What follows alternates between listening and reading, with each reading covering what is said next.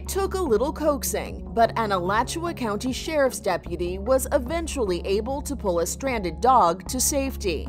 Body camera video shows the likely frightened dog being rescued from over a Florida seawall.